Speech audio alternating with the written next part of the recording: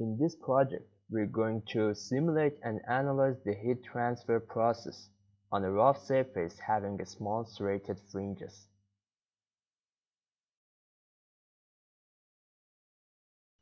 The geometry of this project is designed in ANSYS Design Modeler and then meshed inside ANSYS meshing software. The mesh type used for this geometry is structured and the total number of elements is about 100,000. At the first step, we need to import a mesh file to the Fluent software. So from File tab, read, select Mesh, and in the opening window, uh, just select Mesh file and then click OK. OK, after reading a mesh file, we can go to the settings. In General tab for solver type, check the pressure based type. Because you know our fluid is water liquid and it's an incompressible fluid and that's why we use pressure based type. And also we want a, a steady state simulation. So in time section and just check the steady and uh, we also want to consider the gravitational acceleration and effects on our fluid. So just put the 9.81 uh, in the negative direction of y. After that, go to Models tab, click on Energy, and check the energy equation. So the solver will uh, solve the energy equation as well. And then go to Viscous. Uh, as you know, our inlet uh, velocity is very low, so we expect a laminar regime, and that's why we left the viscous model to be laminar. Now I need to define the material. So uh, in materials tab, fluid part, I have defined the water liquid earlier, but to add this, just right click on fluid and new. In the opening window, I can put the values manually, but uh, water liquid is available in Fluent database. So click on Fluent database scroll down to find the water liquid and copy that. And after create it you can see the uh, material here. And you just need to apply it on your fluid domain. So go to cell zone condition and your surface body. The list of your defined uh, materials is here. So just uh, apply water liquid and done at the last part of the setup process, we need to define our boundary conditions. So in boundary conditions, uh, I change the view type to zoom type. Uh, we have inlet, internal domain, outlet, and valves. Uh, inlet type is velocity inlet, and if I click on edit, in momentum tab, uh, just put the velocity magnitude and in thermal tab uh, the temperature of inlet uh, fluid is defined which is equal to 300 at the outlet uh, which has the type of pressure outlet uh, in the momentum tab just uh, left the gauge pressure to zero and the temperature is 300 on our uh, down wall. If I click on it we've got a, a, stationary wall and no slip condition is defined. But in thermal tab uh, the heat flux of a thousand watt per square meters is defined. So apply it and we've done in setup process In solution part, uh, in methods tab, we use simple scheme for simulation. As you know, we have uh, many many uh, algorithms to solve Navier-Stokes and energy equations. But uh, here, for simplicity, we use simple scheme, and for pressure, momentum, and energy equations, uh, we use second order upwind to discretize. Uh, we know uh, it has some pros and cons but uh, the advantage is its accuracy. In controls part, uh, we left it to the default uh, values of software. In solution part, in methods tab, uh, check the simplest scheme for a simulation. Uh, as you know, we've got many, many uh, algorithms to solve Navier-Stokes and energy equation, but uh, here for simplicity, we prefer simplest scheme. And also for discretization part, uh, check the second order upwind for all of them. In controls part, uh, we left them uh, to be equal to software defaults.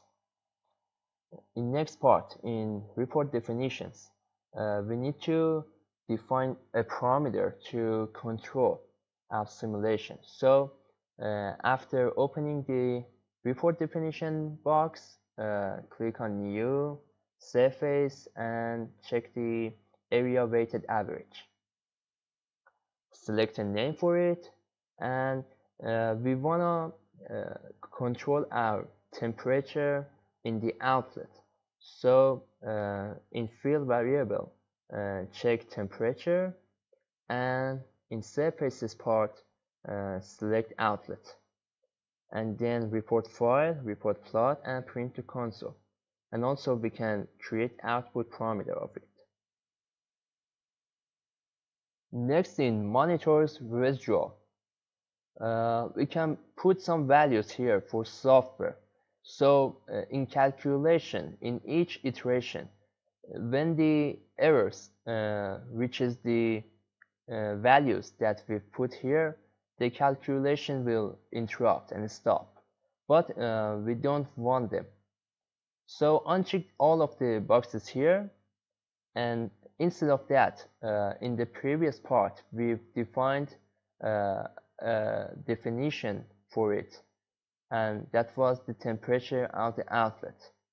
If the temperature reaches a constant value, uh, we can say uh, that our simulation and calculation has converged. As the last step uh, in solution part, go to initialization part and select a standard initialization and compute from inlet. So uh, we define uh, a starting guess for simulation and then in run calculation uh, enter 700 and uh, click on calculate so the simulation will start. As our last step, we should go to initialization part and uh, standard initialization and compute from inlet. So uh, we put some uh, values as an initial guess for our solver. Click initialize wait a minute and then go to run calculations and put some uh, value for example uh, 700 and click calculate so the solver start our simulation now after 700 iterations we can see the result plot. It shows us a good convergence but we can continue more. Uh, and also check the outlet temperature that we've defined earlier in report definitions tab. Uh, it shows us a good convergence as well but it would be better to continue a little more to reach uh, uh, more accurate values so now uh, we want to define a plot and see the effects of uh, fringes on uh, the heat transfer. So go to plots tab, open XY plot, uh, name it temp, uh, and in y-axis function uh, we need temperature, and on surfaces we select wall. Obviously you can see in the plot that we have a sharp increasing in the vicinity of fringes and that's the influence of it. The fluid regime turns to turbulent as time goes by and uh, we've got a better heat transfer in comparison with a surface without fringes. To make better contours and uh, have a better view on the uh, results, uh, we can have them and make uh, contours in but CFD post can get us better information and better pictures with more and more qualities. So uh, open CFD post, we need to import results. So file, load results, open simulation uh, folder and uh, dp0, FFF, Fluent, and import that file.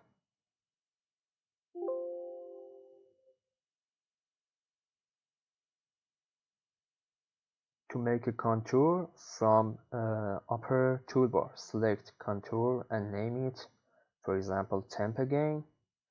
And uh, on the locations tab, select symmetry 2 and your favorite variable, which is temperature here. If I normalize on the surface, I can have a better look. The temperature enters with 300 Kelvin and uh, getting warmer. And to check the vortices and wakes of uh, fluid, let's hide temperature and make a vector. Again, on the upper uh, toolbar, select vector and uh, name it, for example, vector 1, locations on the symmetry 2, and click apply.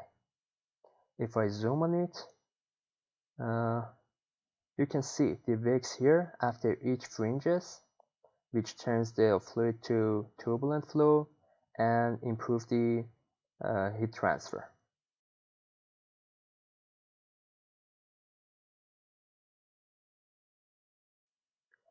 As previously discussed, fringes role in the velocity vector and streamlines contour shows that vortices are generated after the fluid flow has passed over the fringes. In other words, the fluid flow becomes turbulent after the fringes, causing the generation of vortices and, as we all know, the heat transfer coefficient is more than that of the laminar flow.